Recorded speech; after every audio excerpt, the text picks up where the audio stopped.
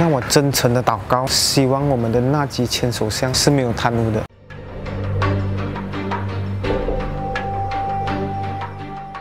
月二十二号，又是另外一个全马来西亚人民等待的日子，那就是我们马来西亚前首相纳吉进入反贪会录口供。那其实还有另外一件事情发生，那就是反贪会一哥纳豆苏克利在记者会上啊揭发了差一点送命的经过。除此之外，纳豆苏克利他还说，今天反贪会会传召前首相纳吉，不是为了要逮捕他，只是录口供而已。我相信很多观众听到这件事的时候啊，都很想丢手机啊。随后，他更爆料，当初呢，因为 OneMDB 这件事哦，背上了背叛者这个称号。可想而知，当时的他肯定受到了非常大的煎熬。他就是因为正义和真相，踏上了艰苦的路。他寻求支持的时候，当时也只有三个人支持他罢了。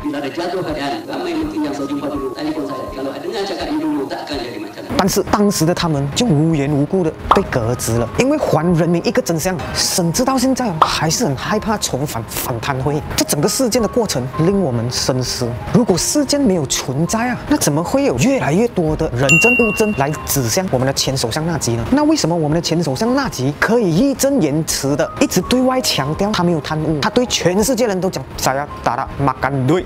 Dan saya bukan orang yang mencuri harta raya。但问题来了，为什么在他的家哦，却能找到这么多的 cash，还有这么多的包包？在我们邻国有一个他的包包啦，已经是鼠疫。那也知道他的包包还多过他的，当时候也非常光荣的用了七两罗里把他的包包摘走，暂时是七两，有可能会是七十两，可能没有挖出来的。关于这 One NDB 的事情啊，有太多不被证实的证据。身为人民的我们，也只能静静的坐着，守候接下来的发展。这一次纳豆苏克里的爆料哦，让我们了解到。凡走过必留下痕迹的，凡寻找的必定能找到，犯罪者也难逃法网。希望各位可以给有关单位一些时间，有可能你跟我们一样，恨不得快快的找出真相，水落石出，以证明我们的前首相是没有贪污的啊！这是他讲的。